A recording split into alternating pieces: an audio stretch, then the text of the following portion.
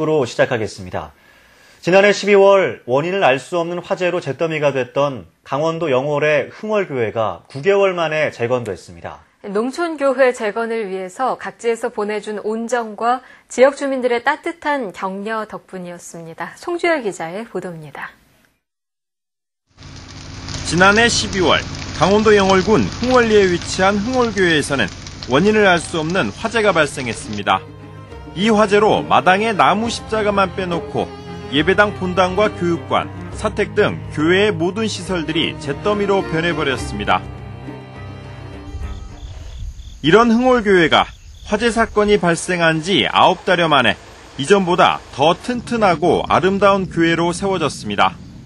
목조 건물이었던 교회는 튼튼한 벽돌 구조로 바뀌었고 120석 규모의 예배당과 애찬실, 다락방을 활용한 교육관 등이 들어섰습니다. 원목 기둥마다 설치된 전등은 클래식한 분위기까지 연출하고 예배당 외벽 유리에 비친 구름의 모습이 마치 한 폭의 그림 같습니다. 그 단열이나 이런 거에도 굉장히 저 에너지 면에서도 절약되는 그런 친환경적인 자재로 마감을 하는데 노력을 했습니다. 공간 활용이 굉장히 잘 됐다고 저희는 생각을 합니다. 흥월교회 재건축을 위해 든 비용은 6억 원가량. 모두 교회 화재를 안타깝게 여긴 감리교인들의 정성 어린 헌금이 모아져 작은 기적을 만들어냈습니다.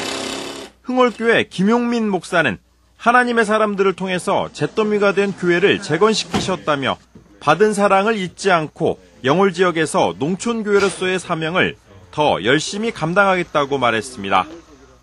건물은 세워져 가고 있습니다. 그런데 우리 공동체가 더 서가는데 더 열심히 내고 그 공동체를 통해서 그리스도의 사랑을 전하는데 더 열심히 힘을 내겠습니다.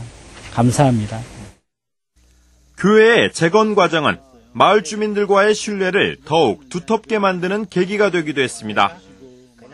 교회 화재를 가슴 아프게 생각했던 마을 주민들은 마을 회관을 예배 처소로 기꺼이 내줬고 마을을 떠나지 않고 다시 교회를 재건시키는 모습을 보면서 우리 마을 교회라는 신뢰까지 생겼습니다.